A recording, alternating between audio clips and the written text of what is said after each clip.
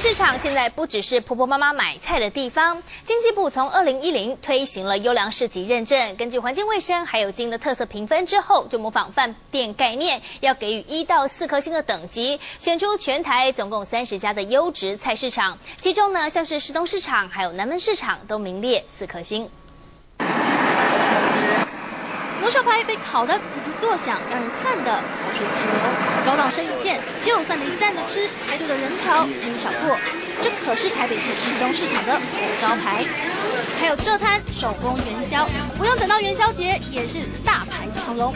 至于这颗鲍鱼水饺，同样是市东市场的大特色。比起来很干净，差在哪边？差在是说没有异味啦。像一般市场的话，都有那种肉腥味了。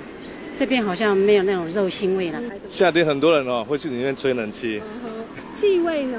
没有味道，没有味道，非常干净。就是因为环境卫生，连经营都有特色，让市东市场深受天母商圈民众喜爱，还被经济部评选为四星级优良市场。这家口味到地的湖州粽，也让南门市场跻身四星市场。南门和市东市场之外，全台湾中立新国市场和台南保安市场也都获得四星级的肯定。